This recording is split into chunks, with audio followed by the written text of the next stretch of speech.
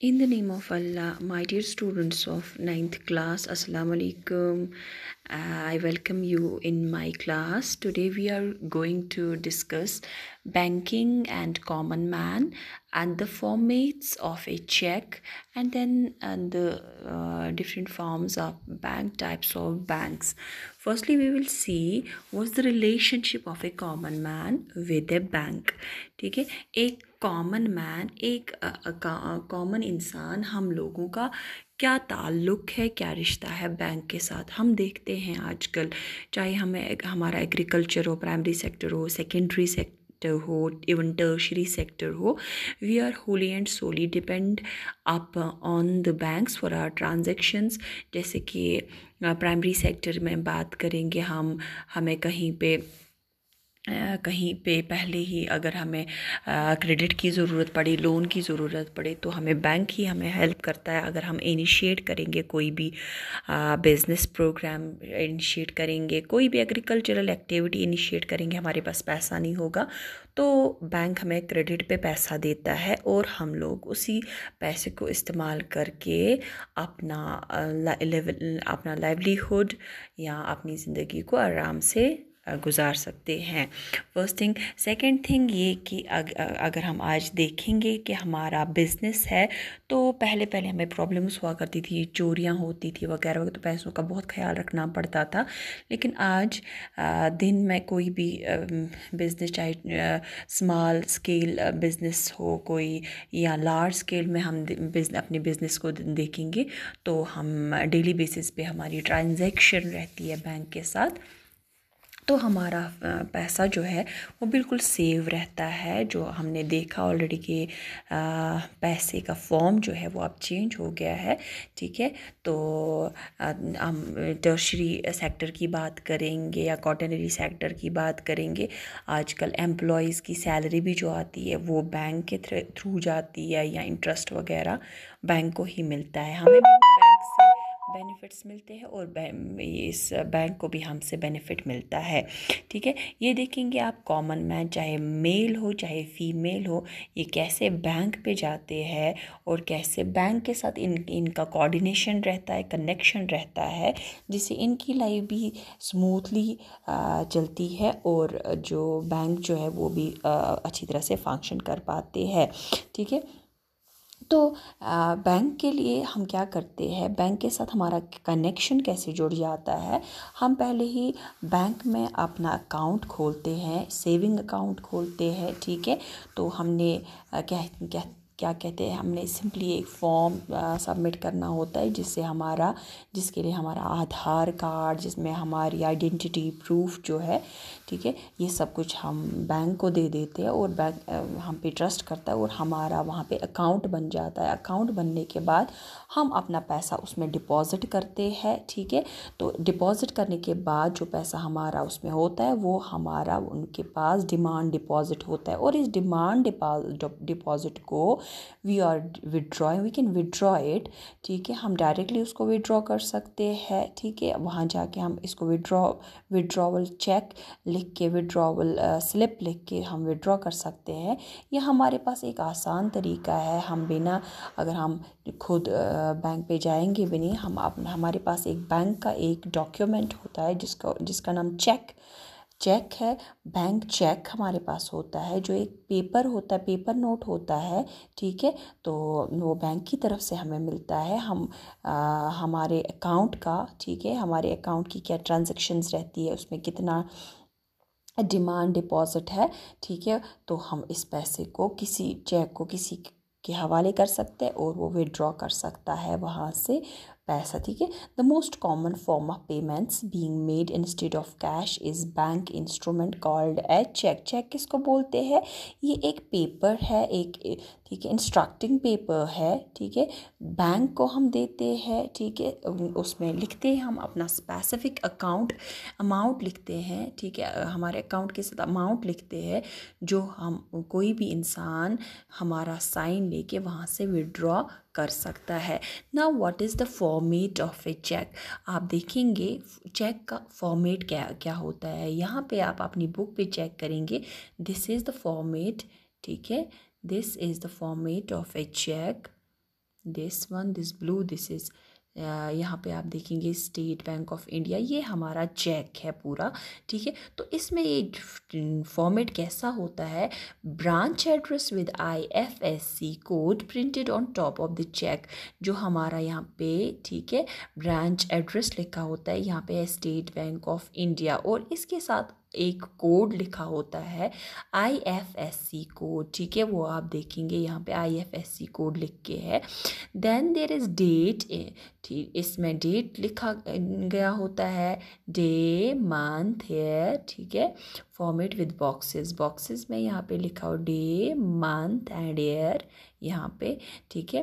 हम्म, first one आप देखेंगे branch address and this I F S C code this is indicated by one then two here it is date first day then month then year ठीक है third यहाँ पे आप देखेंगे third printers name with C T S two thousand ten in left side ठीक है, यहाँ पे यहाँ पे आप देखेंगे लेफ़्ट साइड में ठीक है?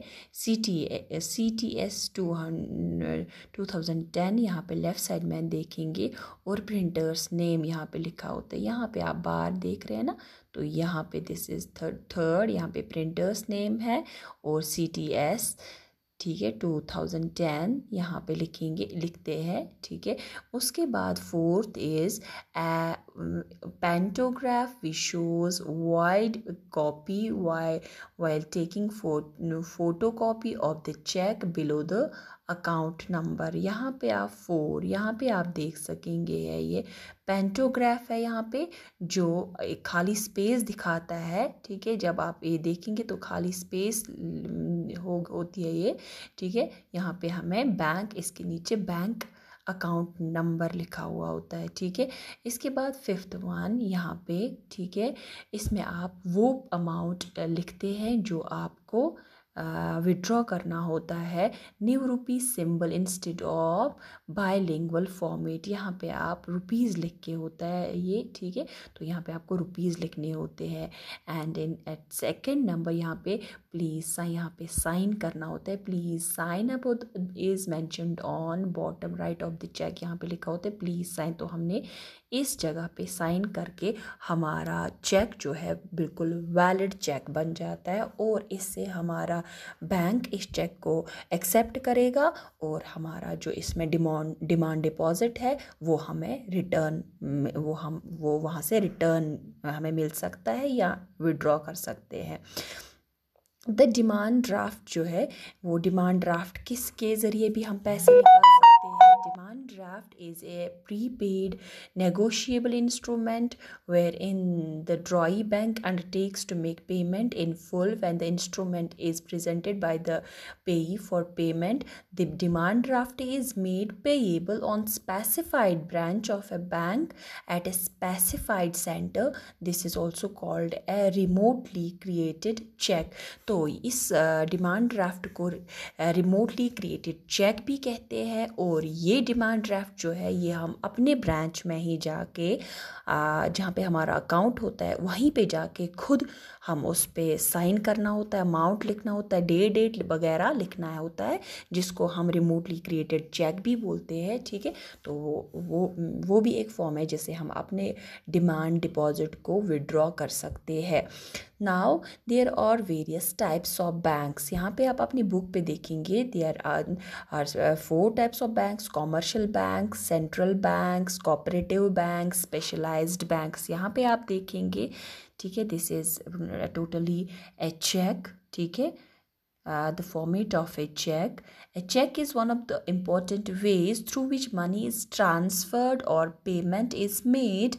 Even though online banking, mobile banking, etc., are becoming more popular and faster ways of money transfer, checks are still being used frequently. Following, you will know how to know check number, check format, and types of checks. अभी आपने देखा ठीक है तो ये although के इस वक्त हम देखते हैं मोबाइल बैंकिंग होती है ऑनलाइन बैंकिंग होती है, उसके बावजूद भी अभी चेक्स का जो रूटीन है, वो अभी बिल्कुल ज़िंदा है। हम बात कर रहे थे टाइप्स ऑफ़ बैंक्स की तो जो हमारा बैंक स्टार्ट होता है वो सेंट्रल बैंक ठीक है? सेंट्रल बैंक ऑफ़ इंडिया ठीक है? जो हमारा आरबीआई कहलाता है, ठीक है? तो सेंट्रल बैंक इसको हम डिवाइड करते हैं into scheduled bank non scheduled bank bank and special specialised banks इसकी थ्री कैटेगरीज है, ठीक है? यहाँ पे आपको इन डिटेल आप from higher level to a very minute level आप बैंक्स को डिवाइड कर सकते हैं, इसके पार्ट्स आप देख सकते हैं या इसकी टाइप्स आप देख सकते हैं जो कि आपकी बुक में ओनली फोर टाइप्स दिए गए हैं। वही फोर टाइप्स यहाँ पे इन डिटेल दिए गए हैं। First one is commercial bank commercial bank किसको बोलते हैं? कॉमर्शियल बैंक बोलते हैं, जहाँ पे हम अपने मनी को बनाते हैं। सपोज़ हम यहाँ पे अपना पैसे देंगे तो वो पैसा यूज़ होता है फॉर बिज़नेस ट्रेड वगैरह वगैरह तो हमें वहाँ पे पैसा वापस मिलता है और विद इंटरेस्ट हमें वापस मिलता है पैसा ठीक है? कॉमर्शियल बैंक में we have public sector bank and private sector bank in public sector bank आपको पता है पब्लिक सेक्टर और प्राइवेट सेक्टर में क्या फ़र्क होता है? पब्लिक सेक्टर जो होता है वो गवर्नमेंट और मैन दोनों का ये होता है आ, ये पब्लिक सेक्टर जो लोगों के लिए होता है but directed by the government और प्राइवेट सेक्टर वो किसी बिज़नेस टाइकोन वगैरह किसी भी इसका हो सकता है, किसी पर्सन का हो सकता है, ठीक है? तो इसमें कॉमर्शल बैंक में जो हमारा पब्लिक सेक्टर आता है, इसमें S B State Bank of India and associates other nationalised bank जैसे हमारा यहाँ पे एस बी आई है, ठीक है, या नेशनल बैंक है, अदर या स्टेट बैंक है, अदर पब्लिक सेक्टर बैंक्स, ठीक है। इसी तरह प्राइवेट सेक्टर में old private sector banks, new private sector banks, इसी तरह कॉमर्शियल में फॉरेन बैंक्स है या रीजनल रूरल बैंक्स है दीज और द कॉमर्शियल बैंक्स जहाँ पे हमारे मनी हमारे मनी को बनाया जाता है। बढ़ाया जाता है। Then we have cooperative banks cooperative banks क्या होता है? कोऑपरेटिव बैंक्स में ये गाँव में या ये रूरल लेवल पे होगा या अर्बन लेवल पे होगा तो वहाँ पे कॉपरेट करते हैं बहुत सारे लोग। कॉपरेट करते हैं विद द गवर्नमेंट और बैंक्स बना देते हैं, ठीक है? इसमें कोई एग्रीकल्चरल कमोडिटी वगैरह वगैरह इनको ये यूज़ करके, वो तो हम डिटेल में नहीं जाएँगे इस वक्त। The forms of cooperative bank और स्टेट कोऑपरेटिव बैंक ठीक है? Central cooperative bank and primary agricultural credit societies ठीक है? तो these are the cooperative banks then the non scheduled banks banks में कौन कौन सा आता है हमारा? पेड आप कैपिटल ठीक है?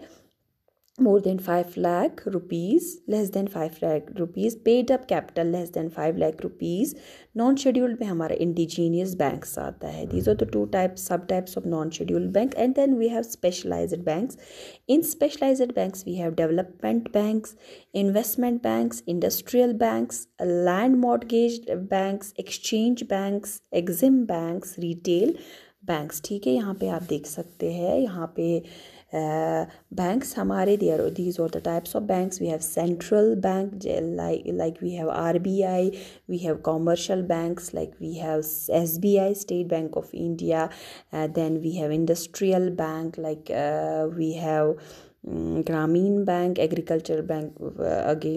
Uh, this is Grameen Bank और Punjab national bank is there कि सेविंग बैंक जहाँ पे हमारा uh, ये आता है स्टेट बैंक ऑफ़ इंडिया ठीक है? इसी तरह हमारे पास ये एक्सचेंज बैंक है. दीज और वेरियस टाइप्स ऑफ़ बैंक्स ठीक है?